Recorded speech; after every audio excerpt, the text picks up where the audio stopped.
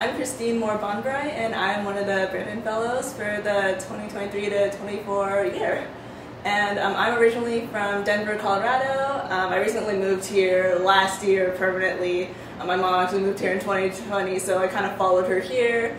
Um, but I've just been kind of getting myself used to the area, getting a little bit more integrated into the art scene, and I came across the Brandon Fellowship, so I thought this was a great way to get involved and uh, launch my art career here in Greenville.